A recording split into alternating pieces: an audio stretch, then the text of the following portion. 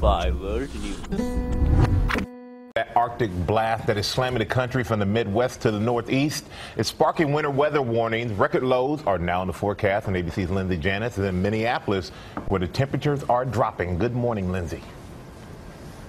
Good morning, Michael. Winter's first big freeze is here in the Midwest and headed towards the Northeast.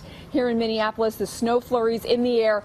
The thermometer says it's 20, but it feels like 6. And by tomorrow, that feels like will drop to near zero. I've just been standing out here a few minutes. My hands are already in pain. There are winter storm warnings in effect across the Midwest today. Some areas could see up to a foot of lake effect snow. Cold and getting colder. Brace yourselves. Michael? Mm. I'm braced. Yeah. I don't care how much you think you're ready for it. You're never ready for it.